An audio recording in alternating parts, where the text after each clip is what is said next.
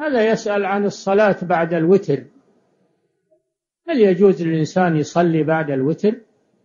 نقول لا بأس. لا بأس أنه يصلي بعد الوتر.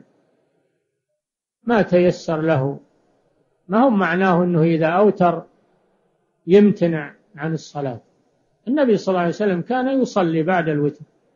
وصلاة المغرب هي وتر النهار. ومع هذا يصلى بعدها. فلا مانع من الصلاة بعد الوتر ما تيسر.